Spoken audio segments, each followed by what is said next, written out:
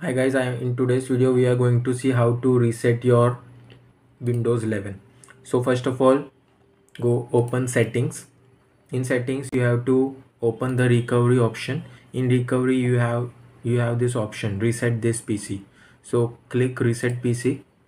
After clicking, there are two options. Keep my files and remove everything.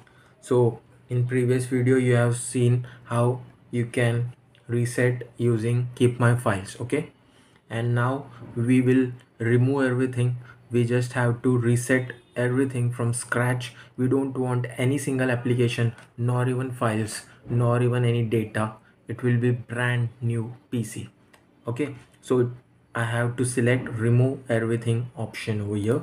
I will select this and it will say would you like how would you like to reinstall windows now i just i just have my windows in my local disk drive c. So i just want to reinstall it from that local drive c only. So i will click on local reinstall. Okay? The additional setting you can see over here remove applications and files. Do not clean the drive. Delete all the files from the windows drive. Reinstall windows from this device. Okay it is perfect. I will click on next option. Now getting things ready as you can see we are moving forward. Let's see what comes next.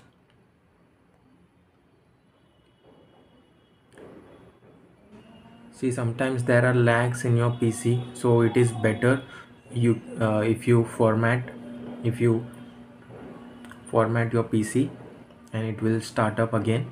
Again you have to install all your applications files and all.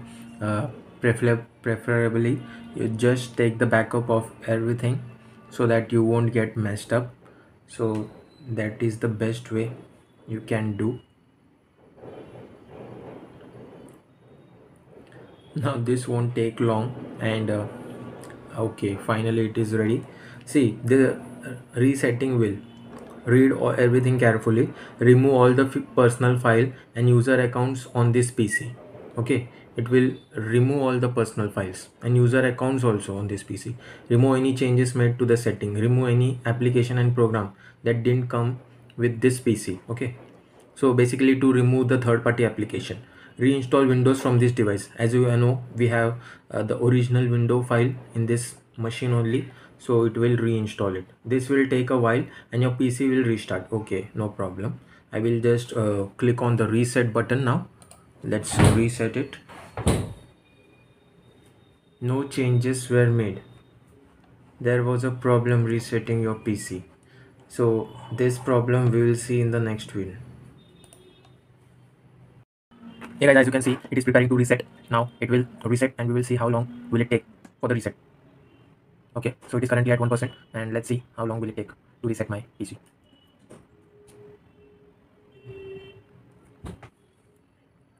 this is taking much more time this device will automatically reset it is showing there but damn it is taking too much time I will upload this entire video so that you will understand how much time does it requires to you to actually reset your PC if you are trying to do so. Okay, so this will be a live video. There are no changes. You can skip this part and move forward if you would like to see what happens next. Okay, so let's see. We have to just wait and watch what's coming up. This is very slow, I would say. Now it is taking up the pace. Now it is currently at 4%. What's going on? Right. See, just 5% preparing to reset guys before resetting just take up all your backups and all. Be safer side on this. To be safer okay. Just my PC is you know the reset the starting time is so much that I'm just frustrated and I have to take this massive decision to reset it um, and I have no intention to do so but what to do? If there are problems in your PCs you don't have any other options. I tried all the best possible options to actually start my laptop at early pace but it is not happening like that. So I just decided to reset and uh, if there are any bugs or malwares it will get automatically deleted. So this decision let's see how will it work.